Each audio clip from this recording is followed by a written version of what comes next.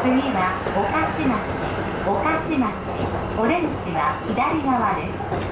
都営地下鉄大江戸線はお乗り換えです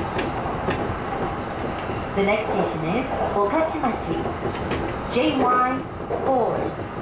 The doors on the left side will open Please change it for the Oedo subway line